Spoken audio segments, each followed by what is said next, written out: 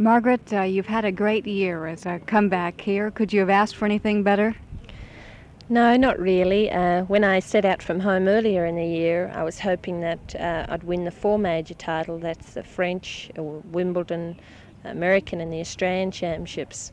I won three of them and missed out on Wimbledon, and I was a bit disappointed because I had won three in 1965. Uh, I won three of the major titles and missed out on one of the the big four. So there's a lot of speculation around that you may retire once again at the end of this year. How about it? Well, uh, two years ago I didn't play for 16 months. I went into retirement, and uh, to come out of that, I found that very hard to start playing again.